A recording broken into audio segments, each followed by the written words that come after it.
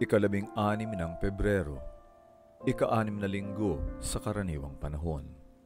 Ang mabuting balita ng Panginoon ayon kay San Mateo.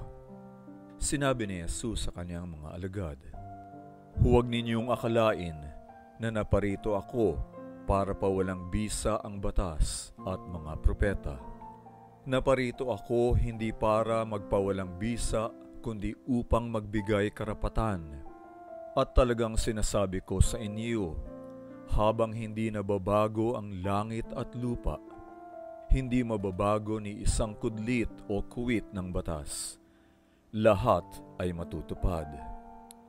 Kung may lumabag sa pinakamaliit na ipinag-uutos ng batas at magturo ng ganoon sa mga tao, ituturing din siyang pinakamaliit sa kaharian ng langit. Ngunit kung may magsagawa at magturo ng mga ito sa mga tao, magiging dakila siya sa kaharian ng langit. Sinasabi ko sa inyo na kung hindi mas ganap ang inyong kabanalan kaysa mga guro ng batas at mga pariseyo, hinding hindi kayo makapapasok sa kaharian ng langit. Narinig na ninyo na sinabi sa inyong mga ninuno, Huwag kang papatay. Dapat managot ang pumatay. Sinasabi ko naman sa inyo, mananagot ang sinumang nagagalit sa kanyang kapatid. Mananagot sa sanggunian ang sinumang uminsulto sa kanyang kapatid.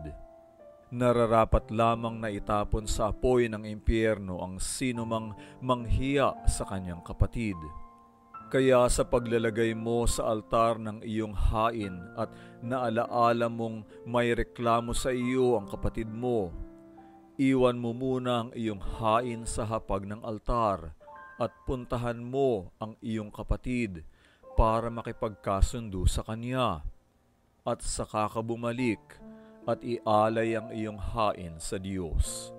Makipagkasundo na sa iyong kaaway habang papunta pa kayo sa hukuman at baka ipaubaya kaniya sa hukom na magpapaubaya naman sa iyo sa pulis na magkukulong sa iyo.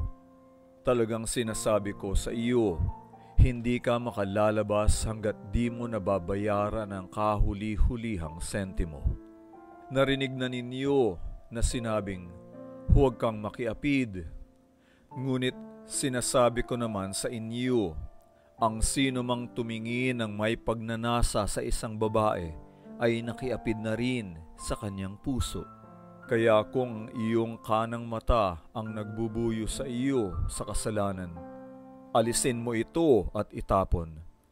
Makabubuti pa sa iyo na mawala ng isang bahagi ng iyong katawan kaysa matapon ang buo mong katawan sa impyerno kung ang kanang kamay mo naman ang nagbubuyo sa iyo sa kasalanan, putulin mo ito at itapon. Mas makabubuti sa iyo ang mawalan ng isang bahagi ng iyong katawan kaysa matapon ang buo mong katawan sa impyerno. Sinabi rin namang, kung may makikipagdiborsyo sa kanyang may bahay, bigyan niya ito ng katibayan.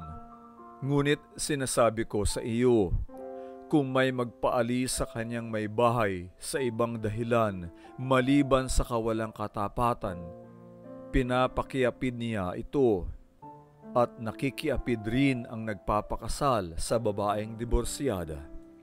Narinig na rin ninyo na sinabi sa inyong mga ninuno, huwag kang sisira sa iyong sinumpaan. Tuparin mo ang sinumpaang pangako sa Panginoon. Ngunit Sinasabi ko naman sa inyo, huwag kayong manumpa sa ngalan ng langit pagkat naroon ang trono ng Diyos, ni sa ngalan ng lupa pagkat ito ang tuntungan ng kanyang mga paa, ni sa ngalan ng Jerusalem pagkat ito ang lunsod ng dakilang hari. Huwag kang manumpa ni sa ngalan ng iyong ulo pagkat ni hindi mo kayang paputiin o paitimin ni isang hibla ng iyong buhok. Sabihin mong oo kung oo at hindi kung hindi. Ano pa mang sasabihin mo'y sa demonyo na galing. ang mabuting balita ng Panginoon. Pagsasadiwa, naparito siya hindi para pawalang bisa ang batas.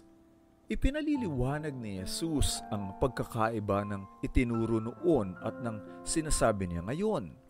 Naniniwala ako na ang naisabihin ni Jesus ay tingnan natin ang positibong panig ng batas.